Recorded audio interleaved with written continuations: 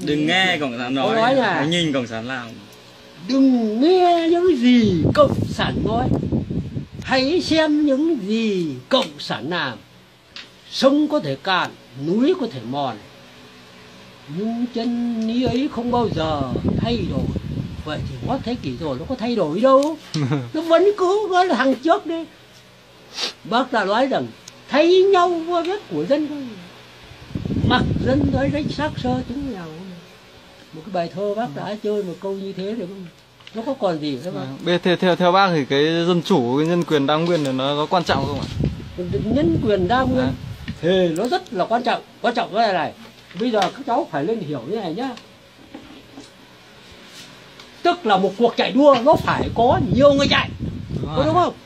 Thì mới biết à cứ này chạy giỏi thế nhưng giờ đi bên đá nó đâu không cộng sản nó chạy thôi thì nói chạy nó lại chấm thì tức là ngu của thành tài đúng từ rồi ạ. thi từ chấm thì ngu thành tài bác cũng có cái bài thơ đấy nói là vâng có hết thì không phải không. Có tí nó qua nhà bác lấy thơ? Vậy thì làm cái gì cũng thế.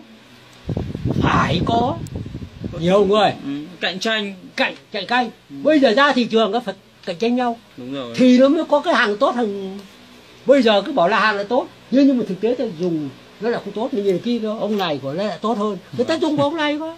Thế nhưng bây giờ độc một thằng cộng sản thôi đi.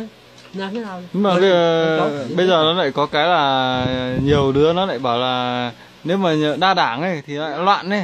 à không cái việc loạn hay không loạn là do pháp luật thôi. do luật có thi hành cái luật.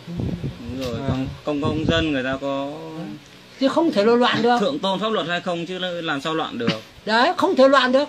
Thằng mỹ nó loạn đâu Đấy, đúng rồi. rồi tất cả thế giới nhá. Những nước nào đi theo con đường của mỹ mà tổng thống mỹ đầu tiên nó, nó tuyên ngôn độc lập đấy.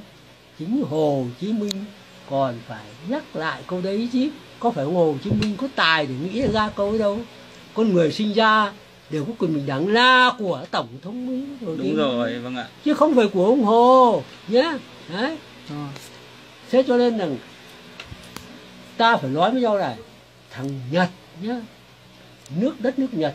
Bị mỹ như thế nó cả hai quả bóng nguyên tử vĩ đại chiến thế giới thứ hai đấy nó còn tàn nát rồi dân nó nói đấy. Nhưng lại vẫn đi theo con đường của mỹ.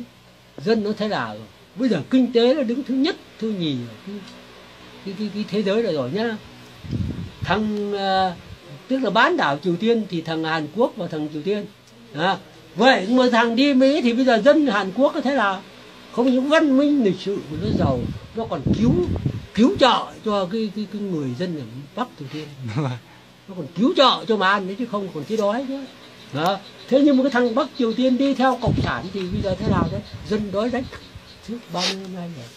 Bây giờ ta mới lại phải khẳng định với nhau nói một câu này nữa nhá phải khẳng định nói câu này. Trước năm 1975 nhá, trong miền Nam của nó đã có cái gì rồi? Tivi xe máy. Có đúng không người dân ở trong nó giàu như thế nào? Ngoài miền Bắc thì xe đạp nó còn cung cấp cho cán bộ cho có cán bộ dân mình không được mua. Dân mình bắt đầu lại mua lại của của những thằng cán bộ cung cấp. Mà đó bây giờ mà, mà, mà nhà nào mà có mua được độ hai xe đạp đủ rồi. Phải nói là cũng khá lắm rồi đấy.